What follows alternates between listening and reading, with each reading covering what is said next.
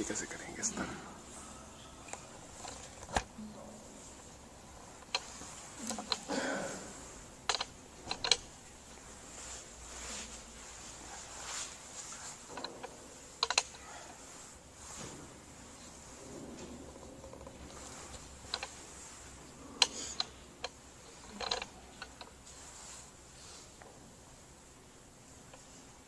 Is it recording?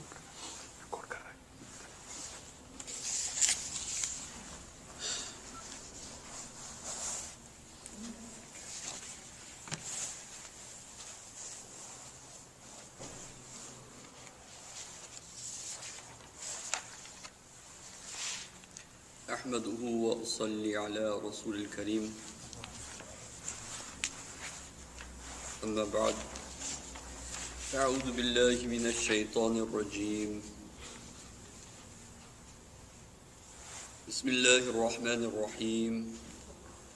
والشمس وضحاها والقمر إذا تلاها والنهار إذا جلاها والليل إذا يغشاها رب اشرح لي صدري ويسر لي أمري واحلل عقدة من لساني يفقه قولي آمين يا رب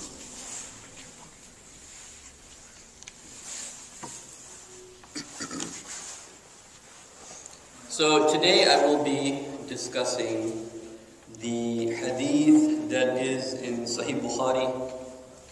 It is a long hadith of the Prophet sallallahu alaihi wasallam. However, I will mention this hadith and try to explain it. It's a very uh, a hadith that can be misunderstood very easily. And so I'm going to have to give a introduction to one or two aspects of the science of hadith before I actually delve into this particular hadith. This hadith, as I pondered over it and thought about it, its importance became more and more clear to me. As you will also, inshallah, I will share with you some things that I think are very profound. the first thing that should be clear about the sciences of hadith that is that when you look at any hadith of the Prophet sallallahu alaihi wasallam, you are only looking at that particular event. In other words, just like a doctor, if he's looking at your eyes, he's not going to give you a prescription for your back pain. He's going he's looking at your eyes. In general, when you're studying medicine, you will learn that if you're looking at the eyes, these are the symptoms to look for, and this is the prescription that goes with it, something like this. But a real human being, when you're really looking at a human being, you're looking at not just the eyes, he may also have a sore back, he may also have a sore throat, he may also have so many other problems. So you're looking at all of those things together when you're looking at the real human being. In the same way, when the Prophet ﷺ, he mentions something, for example, when he, the Prophet ﷺ said, Wallahi la yu'min, Wallahi la yu'min, Wallahi la yu'min, I swear by Allah, he doesn't believe, he doesn't believe, he doesn't believe, who, whose neighbor are not safe from him. Now, does this hadith, for instance, does this put a complete judgment on a real human being? Like, let's say, someone has a neighbor and they don't feel safe from him. Do we take this hadith and then apply it upon him and say, see, because your neighbors are not safe, safe from you, therefore this is the judgment upon you. We don't do this. Why? Because of his a'mal, he has many actions. He has many actions. This is one of his actions to which this hadith applies. But maybe he also is raising orphans, for example. So the hadith about the man who raises orphans, orphan girls, is also applied to him, right? So you, you don't take one action and look at that one symptom or that one problem and attach that one hadith that you find applicable to him. The ahadith are general rules only looking at that particular action that is being mentioned. Nothing more than it, nothing less than it. So when the Prophet ﷺ is saying something to the negative consequences. For example, if the Prophet said, "Cursed is the one is like is the cursed is the one the male who who is like who pretends to be or looks like the dresses like the female." Now, when you have hard words like curse, then that means that this will weigh heavy against him. This will what? Weigh very heavy against him on the day of judgment. But it's still not a complete what? Judgment against him. Also, sometimes a particular situation, for example, somebody just converted, he was drinking alcohol, he was doing drugs, and so because, and even let's say he converted five, six years ago, but in five, six years he has not been let go, uh, he can let go of his alcohol problem. So all these things need to be taken into consideration. So why I'm saying this? Because this hadith is a hadith that, if not understood in that general principle, then it may be misapplied and misunderstood. So I wanted that to be cleared. Then the next thing that uh, I want to clear is going to be coming in the hadith. I'm not going to read the hadith actually. Uh, I'm going to just read a part of the actual translation so that I can actually get onto the subject at hand.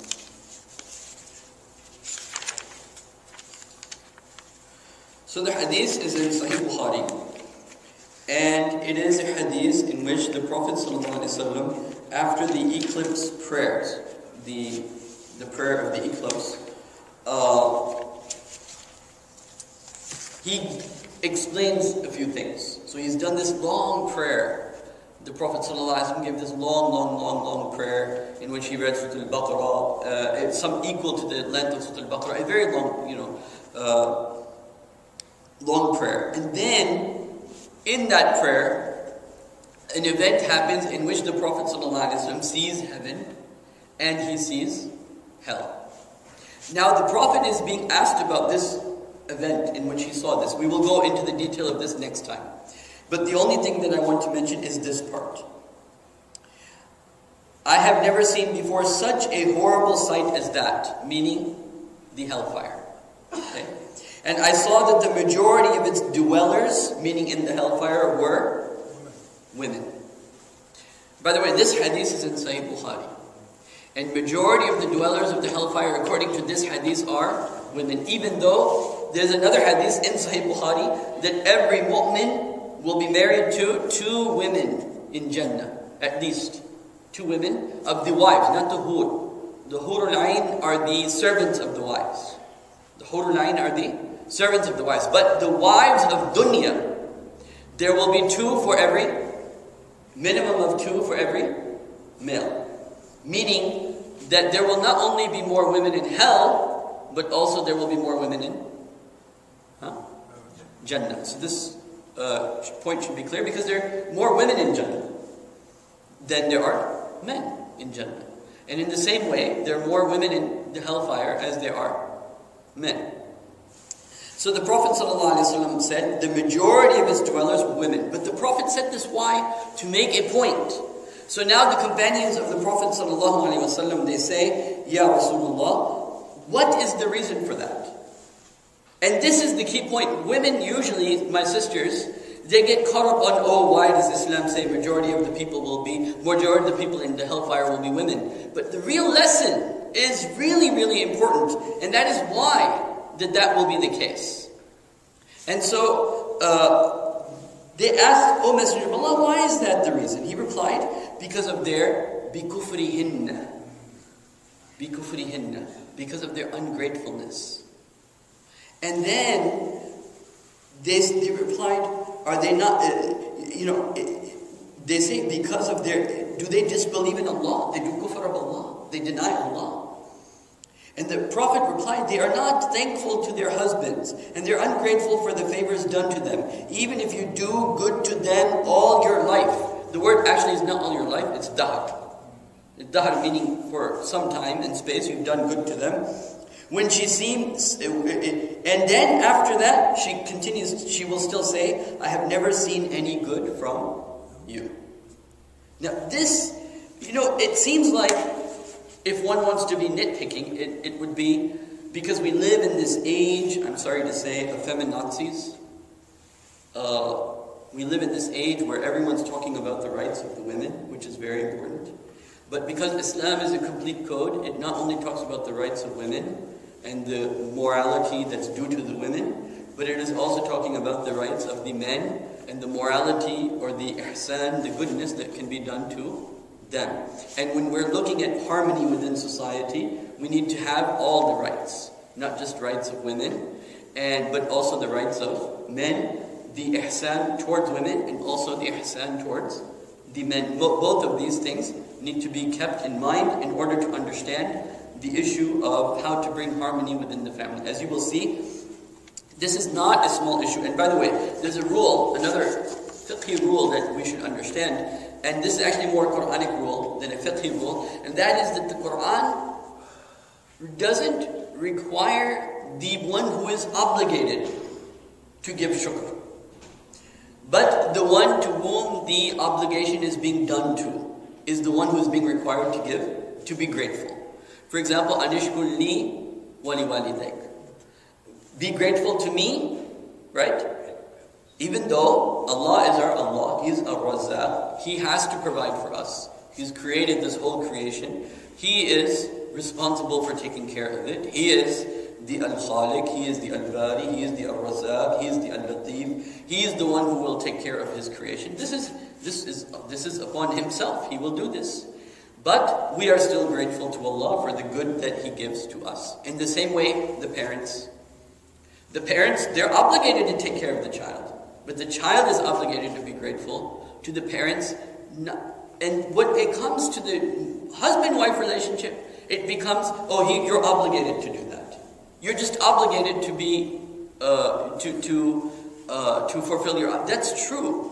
But when someone is fulfilling his or her obligation to you, or Allah is fulfilling his obligation to you, you are still required to be grateful to Allah, number one, that you are in a position where someone is fulfilling his rights to you. And number two, you are required to be grateful to the person who is fulfilling that obligation to you yourself.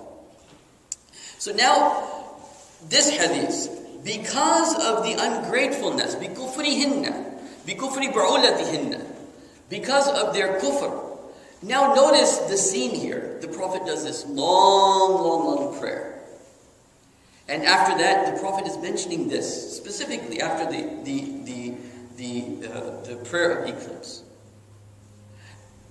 Why? This is a very dramatic scene. Because the Prophet could have said this anytime.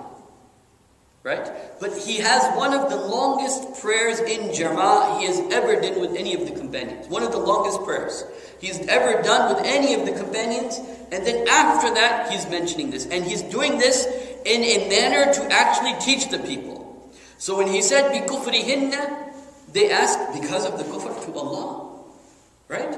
He's having them ask him questions. And then he says, no, because of their ungratefulness to their husbands. Why doesn't it come in Quran? And this is a good example of the harmony between the Quran and the Sunnah, for example. The Quran emphasized the general rule with the parents. The Quran what? Emphasized the general rule, you have to be grateful to Allah and grateful to the parents. And then from there you understand how it works down, how, how it trickles down to the rest of what? Society.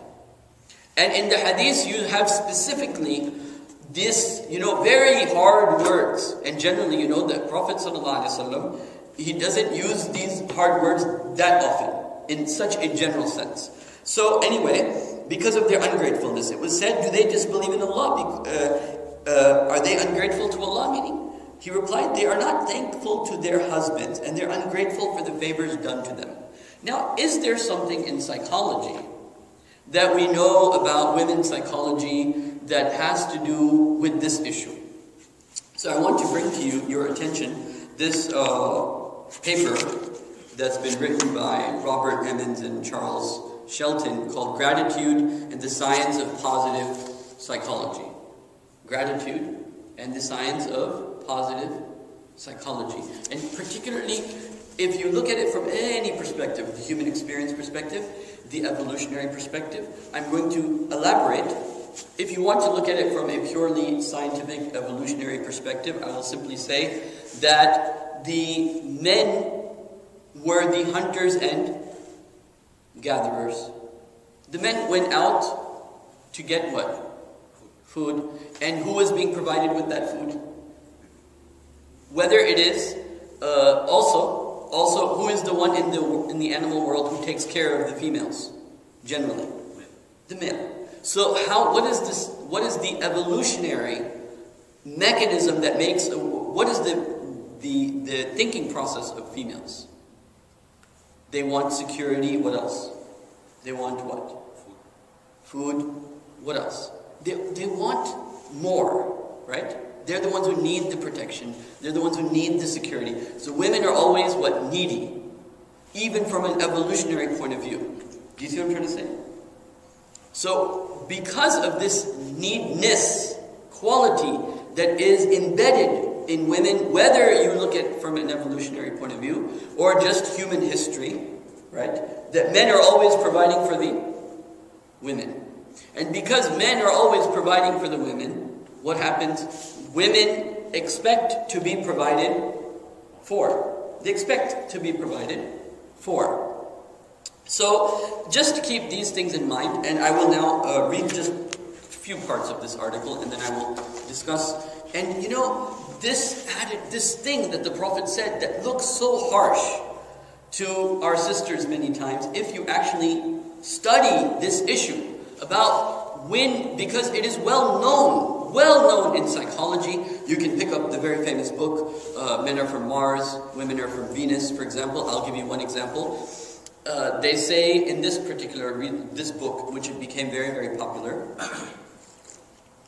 one of the aspects that was discussed in this book is that women are like waves. Women are like waves. And men are like rubber bands.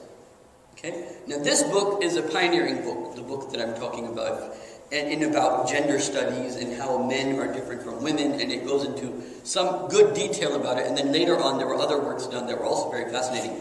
But I want to talk about this wave and the rubber band. The rubber band is guys like to get close to their wives or their whoever. They like to get close to their wives, and then they like to have their space like go into the Batman's cave. This is the word used by the author. And then they like to go back to their wives. And so the men, they like going in and out of the house, kind of like they want to be close, and then they need time to themselves. And there are other, many other, even like when guys are upset about something, they don't want to be bothered by others, right? They want their own time. Women have waves in the same way that men have rubber bands. They work, women have waves, which is that they're very happy and then they're very uh, depressed, affected by hormones, very sad, so on and so forth. And then they then it goes up, and then it goes down, and then it goes up and down. And this is natural for women to be affected by their hormones. Yes, there are women that are not affected by their hormones at all. And this is the thing about when you study Islam, one thing that has to be clear in your minds. Women, there's a very large spectrum of women. There are those women that can't get out of their beds because of the pain cramps that they have. And then there are women that can function normally, like as if nothing, they're not, their bodies are not going through anything. You all know what I'm talking about, right? So there, so women are a very large spectrum of, in terms of how there are women who are very feminine, and other women who are not as feminine. So there's this very large, whereas males are almost pretty predictable, is, is, is generally how we would understand it. So, uh, because of this wave that women go through, up and down and up and down, this one reason, and then number two, they want to be provided for, they expect to be provided for, and other psychological reasons that sometimes women have to remember that they, you know, there's a hadith of the Prophet, wasallam. The Prophet said that there is a lady this Prophet said, this same hadith by the way, there's a lady, she does, she hopes and she prays to Allah, Allah subhanahu wa ta'ala that I get married. Hmm? And then after some time she gets married. That what she was praying Allah get me married, and you know, nowadays Muslims are under a curse. That it's hard for our daughters to get married. This is really a situation that we're going through in, in our society. And so, anyway, the point being that when she gets married, She forgets the the the, the great the, the favor Allah had done upon her that like out of all the women she got married to some good guy and then she becomes uh, you know ungrateful to him. This is another hadith by the way. So the point here is is that in what is the result of being ungrateful? And why the Prophet ﷺ specifically says this ungratefulness towards the husband, specifically to the wives. I gave you the fiqhi reason. The fiqhi reason is the one who's fulfilling the obligation, right, versus the one to whom the obligation is being done to. This was one aspect, meaning Allah to us or the parents to us. So the one who is doing the obligation, you still have to thank him, even if he's doing his obligation. So, uh, so now I just want to read the idea of gratitude, and then we'll understand it from a more practical perspective. That if women, because if women have this sense of gratitude in their life, right, then it changes the whole cycle. If the husband is thankful, if the husband has gratitude, if the husband has shukr, if the husband is thankful, it doesn't change the circle. It just affects him. It just what? Affects him. But if the wife is grat- grateful and has gratitude, it affects the whole family. You will see how I will explain this. So I'm going to read parts of this research, only the beginning parts, and then inshallah in the next dars I will go more into the hadith itself, and I will also go more into the issue of gratitude. But this is, I just want it to be known, this is something not only the Prophet said, that women uh, they do this kind of like ungratefulness, and that they'll at the end of the day say, you know, you did nothing for me, uh, you have done nothing good for me. This is something that is being studied, has been studied, research has been done on this, but that research isn't very popular because no one today wants to study about things that affect men. Everyone wants to talk about the things that affect the women. So I'm going to start about uh, talking about the issue of gratitude its effects. Because when you have gratitude, when you have shukr, you are being thankful for what you have now. You're being thankful for what you have now. Not something in the future, not something you'll have after a year, not after, you know, your, your, it's about the here and the now. Shukr is about acknowledging the good that you have with you at that moment that you are doing, showing gratitude. In fact, I'll also mention this the issue of gratitude is so powerful that psychologists have only recently begun to study the effects of gratitude in, in human life. In fact, uh, the word shukr, which is all over Quran, is only being accepted as a human emotion recently in psychology. In, in the books that you've probably read, shukr was probably not even an emotion that you studied, right? It wasn't even there. It's only recently that even now, the textbooks, they don't have it. It's just the research. It's the research papers that these people write. They have these things. But you, you don't study shukr as a gratitude or as an emotion. Even though it's the most basic thing. You do something to someone, and then he feels like, oh, I wish I could do something for him like he's done for me. It's such a basic thing. But it's all over Quran, and it's not there. Even in modern psychology, they don't really teach this. And uh, so anyway, so let me just mention a few things about this, and then we will go into more details. The essential, gra- uh, so he is summing up in this paragraph all the works that have been done in gratitude. So he says, the essential, gra- uh, the, essential, the essential, the essential message of these volumes is that a life oriented around gratefulness is the cure for yearning and life's ills. Grateful, grateful responses to life can lead to peace of mind, happiness, physical health, and deeper and more satisfying personal relationships. So he says basically this is the end result of all the research that's been done, but I want to go into more specifics. He says classical writers focused on the good life. Now he's talking about not only psychologists, he's talking about philosophers. Classical writers who focused on good life emphasized the cultivation expression of gratitude for the health, vitality of both citizenry and society. Across culture, time spans, experiences, and expressions of gratitude have been treated as both basic and desirable aspects of human personality and social life. For example, gratitude is highly praised human disposition in Jewish, Christian, Muslim, Buddhist, Hindu thought. Cicero, the philosopher, held that gratitude is not only the greatest of virtues, but it is the parent of all others, and so on and so forth. So, gratitude is a universal emotion that's been understood. Uh, I'm only going to read a few more things if you just bear with me. It's going to make things easier to understand. Um, gratitude is aptly uh, conveyed by this author. He says, In this attitude, people recognize that they are connected to each other in a mysterious and a miraculous way. This is not fully determined, that is not fully determined by physical forces, but is part of a wider or transcendent context. Meaning, this idea of shukr actually itself proves the existence of Allah, but I'm not going to go into that right now. Then, then he says, now who knows uh, Abraham Maslow? Everybody heard of Abraham? Maslow? The hierarchy of needs, right? Abraham Maslow. Okay, so Abraham Maslow is a psychologist who talks about hierarchy of needs. The highest of them is self-actualization, where you find yourself. Okay? The most basic of them is like things like food, water, right? Security. These are the basic things human beings need. The highest is where you find yourself. So he, Abraham Maslow, unlike many other psychologists, he studied what makes a good personality. What makes a strong personality. So when he looked at people that have good personalities, what did he find? Core characteristics of self-actualizing individuals studied by Maslow. Self-actualizers, according to Maslow, had the capacity to appreciate again and again, freshly and naively, the basic goods of life with all pleasure, wonder, etc., etc. This ability to freshly appreciate everyday experience enabled self-actualizers to derive a sense of pleasure, inspiration, strength from even mundane happenings. So it continues. I won't go any further, but I just wanted to, I'll go over parts of this a little bit later. So what is it that I'm basically saying? I'm saying that gratitude helps a person do what?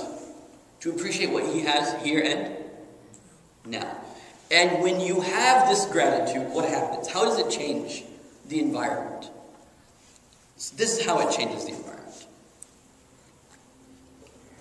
Let's say a wife, she thinks that her husband doesn't pay her attention. She thinks what? My husband's not paying attention. She is coming into the house and she sees him watching TV. What is her response? If she's ungrateful, then she won't bring herself to her potential to change anything. Being ungrateful means you've become bitter. Being ungrateful means that you can no longer use your influence to make any change. Being bitter means, or ungrateful means, you accept things, or you accept un- things unwillingly as they are. Being opposite of being grateful is what? Ungrateful, right? And that means that if you don't like your situation, you're gonna just accept it, but you're not gonna do anything, what? About it.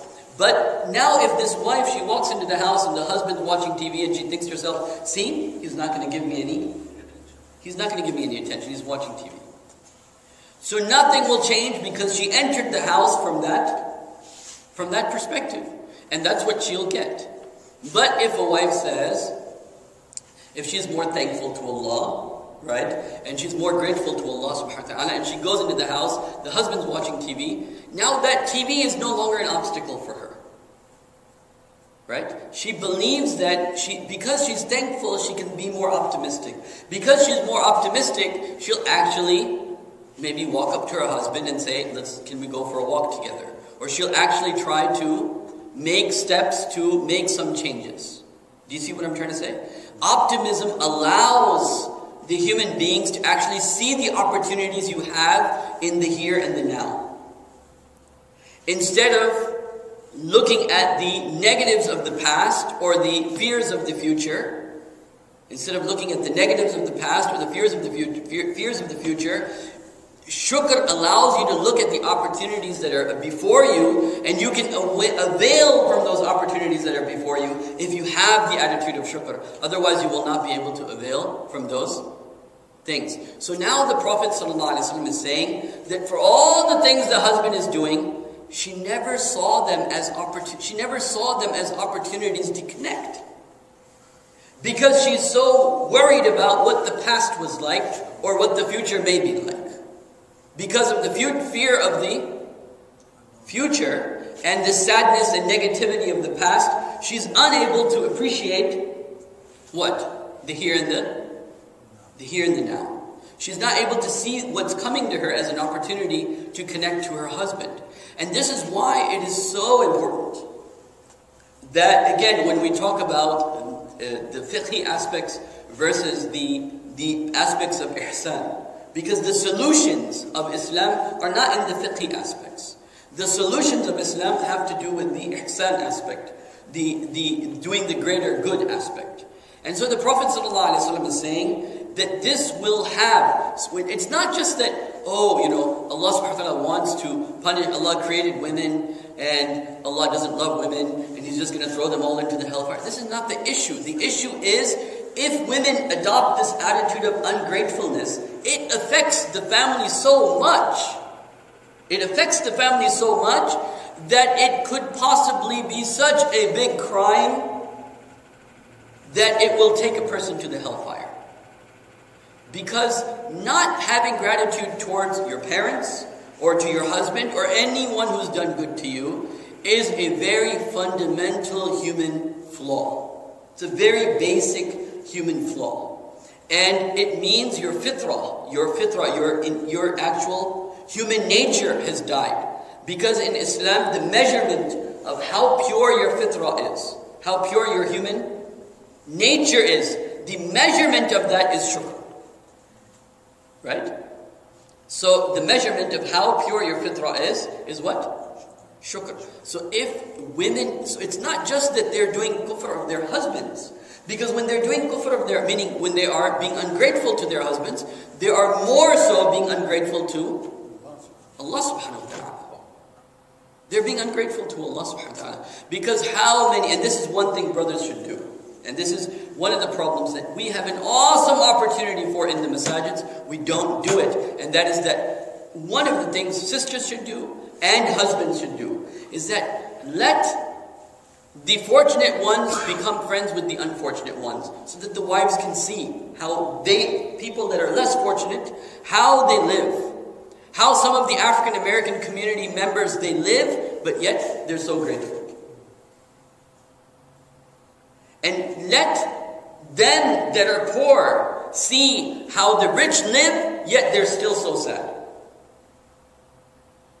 And so this, because this aspect, we have to create an environment of shukr in the, in, in, around us. And how do you do that? You let the fortunate meet the unfortunate, and the unfortunate meet the fortunate, and see who you can then see People there have they have so much, but they're still they're bitter still. They're people that have nothing, and yet they're so happy still. Let the wives, the wives need to see this too. The women need to see this. This is why the relationship between the different communities, especially different ethnic groups, is very it's very it's all very important in order to be able to really to have an observation of, of, of, of the reality of life itself. But anyway, so I was saying that because what? Like, I'll just mention this. I know many of you probably already know this, but I'm just going to mention this quickly. When Allah subhanahu wa ta'ala mentions this topic of shukr in the Quran, most profoundly in Surah Luqman, Allah starts by saying, وَلَقَدْ آتَيْنَا لُقْمَانَ الْحِكْمَةَ أَنِ لِلَّهِ We gave Luqman what? Hikmah, so that he would be able to Thank Allah. Now, what does hikmah have to do with shukr? And what's the opposite of shukr? وَلَقَدْ آتَيْنَا لُقْمَانَ الْحِكْمَةَ أَنِ اشْكُرْ لِلَّهِ وَمَنْ يَشْكُرْ فَإِنَّمَا يَشْكُرُ لِنَفْسِهِ And whoever gives gratitude to Allah, he does it for his own self. Because if you can't see the good in you, good around you, that means that there's no, if you can't see it, it means you're yourself blind.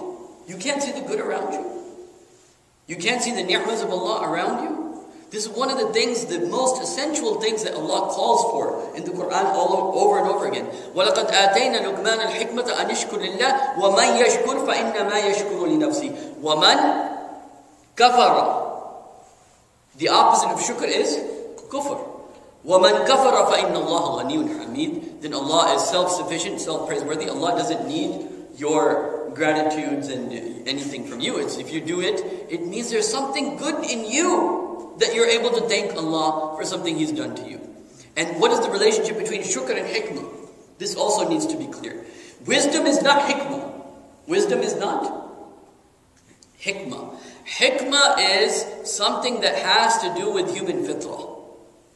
Wisdom is something that has to do with human fitrah. Wisdom comes from understanding human nature, human disposition. When you make a, an, a conclusion using information you have on the external, when it coincides with the fitrah inside, when it coincides with the what? The fitrah inside you, when the two information, knowledge, and good fitrah come together, it gives you hikmah. This is hikmah. For example, let me give you an example. Not lying. Don't lie. Don't lie. It is the, this is hikmah. Don't lie if you tell the truth, you're, it, you know, you will have, it's better for you if you tell the truth, right? يُصْلِحْ لَكُمْ أَعْمَالَكُمْ وَقُولُ قَوْلًا سَدِيدًا يُصْلِحْ لَكُمْ أَعْمَالَكُمْ So, if you don't lie, if you don't steal, if you don't do these wrong things, what does it relate to? It relates to knowledge on the outside, the effects of the outside, and the human fitrah, the human nature. Hikmah is under, understanding the highest truths that have to do with human nature. This is wisdom. Wisdom is understanding human nature. And I can't go into hikmah is from hukum. You know, hukum means something strong, something unbreakable. Anyway, this is a separate topic. So, but the point I'm trying to say only is what? Is that if one of the things, and this is one of the things that it's easy for sisters when they are in a moody position, when they're what? When their wave is going up and down, right? So some days they're happy and then some days they may not be as happy. So what happens? When they're not so happy, then they will say things, and this is also another hadith in which I will talk about the, the, the, how women communicate. Uh, there's another hadith just on this issue, which I will talk about, inshallah, maybe next time or the time after. But when women say things, so women have to learn not to say things when they're they are in a certain mood. And I know women just don't like it when you say uh, that because of their uh, cycles or because of their natural biology, they go through certain emotions. They don't like that being mentioned. Um, but anyway, it's a fact, it's a reality. And uh, so when they are in these waves, they should recognize that, and they should not bring themselves about to say statements, what? That are negative. Because when the wife puts down her husband, you've never done anything good for me, what happens as a result? What happens as a result? Because men show connection by doing what? Women show connection by talking, by communicating. Women show connection by? By communicating. Guys show connection by what? By, in simple words, by being the man. Right? He's the man. He's in charge. He's the leader. Right? He's the one who provides. Anytime a female, and if you read Dr. Laura Schlessinger's works on this, anytime a guy feels that my wife doesn't look up to me, or my wife doesn't appreciate me, or my wife doesn't respect me, what does it do to the guy? Meaning, what will it do to the family? It'll break apart the family. They'll be in the same marriage, but they will be what? Getting more distant from each other. Right? And that's not the solution. So, what does Allah subhanahu wa ta'ala say about causing division in marriage? So, you have to be, because the Prophet and most people, in the general principle, everyone agrees. Most people will go to the hellfire because of what's between their mouths and what's between their legs. So here Allah, the Prophet of Allah subhanahu wa ta'ala is mentioning something specific of that, which is that when women tend to say, you have done nothing for me. And this is such a common experience that if you ask the Arab brothers, they'll say it. If you ask the Arabs, if you ask the, the Desi, if you ask the white American, if you ask the African American, everyone knows that this is a cross-cultural experience that means that it's universal for women to express this type of attitude specifically using the words, You have never done, you've never loved me, you never did anything good for me. And this is a very common thing. And you know, when I sit in counseling many times for couples, husbands and wives, one of the most often complaints I hear from the husband is, you know, I work day and night. Right? She doesn't realize I'm working day and night. I drive a taxi, I'm going for 12 hours, and all she does is complain. All she does is say that you don't love me. And then the poor guy, he tries harder and harder and harder, but she's never, what? She's never appreciative. What will that do to that marriage? And then the wives, they're upset that my husband doesn't love me, but by that time, he really is, he doesn't know what to do. He's given up. And so, really, women, when they, as I have seen this myself in counseling, when women push their men by saying, You've done nothing for me, and of course, every scenario is different, every scenario is specific. I'm talking in general. This shouldn't be taken as a hard and fast rule, but I have seen that sisters can push their husbands by saying certain things to the point that the husband's still the husband, but he, he's given up. He doesn't feel like trying harder because he feels that no matter what I do, she's going to be unappreciative of whatever I do. But on the other hand, I have seen where couples are there and where the wife is very supportive of her husband.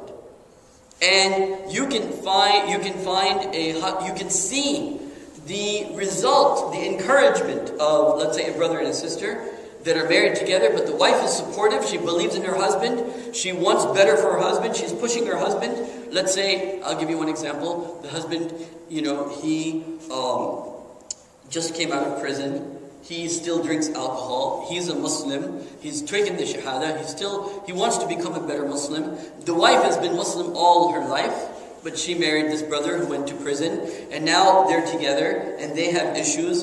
And but the wife is supportive. The wife believes in something about her husband that he can transcend all of this. And what happens? He will leave his alcohol. He will find a good job. He, because now he feels happy to prove his wife right. He feels pleasure in proving to his wife that, yes, I was worth supporting. And I was, you know how they say behind every great man there's a great woman, right? So every sister who is married, especially in these times, should be very thankful to Allah subhanahu wa ta'ala that Allah has had her get married. And even if he's doing his obligations, doesn't mean that, oh, he's doing his obligations, I don't have any you know, I mean, how else are you, if you're not going to be thankful over the most basic things, how are you going to be thankful over the less basic things? And the other thing that I was mentioning was, is that the, the community should be involved with other people who are, if they're fortunate, with the less unfortunate, if they're less fortunate, with the more fortunate, so that the wives in the community, and the women in our community, they understand that, they, that, so that they can be grateful. So that they, I know this, because I know one brother and one sister, and the wife used to complain about the bills all the time. I told the brother, why don't you become brothers with some of these African American brothers who work so hard to provide for their family? And they're so happy. And so they became friends, these two couples I was talking about. And the, alhamdulillah, the wife understood, you know, that she's so lucky. Her wife, her husband's in the IT field. He makes $70,000. She has so much to be grateful to. So much more to be grateful for. And, uh, you know, and that, uh, so the, uh, you know, because the male's weakness is the wife. And the wife's weakness is the children. This is how Allah subhanahu wa ta'ala has made this triangle. The women's biggest weakness is the children. And the male's biggest weakness is the is the uh, uh, the uh, is, is the, the male's weakness is the wife, and the wife's weakness is the children. And so, if the wife doesn't, if his weakness brings, because what's your weakest can either affect you the most or the or affect you the worst, right? For the most better outcome or for the worst outcome. So if your wife is supporting you, it will bring out the best outcome. If the Prophet didn't have Khadija, anha, imagine in Mecca, and even the Prophet's wife is against him. I mean, that would have been so horrible. He was so lucky that he was able to go to his best friend, which was Khadija anha, who believed in the Prophet before he believed in himself. Right? She supported him. And she gave him the encouragement.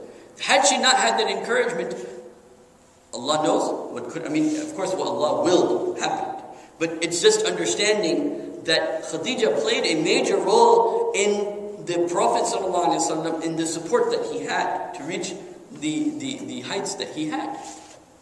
So in the same way, and you know, it's interesting, we say Abu Bakr as-Siddiq, right?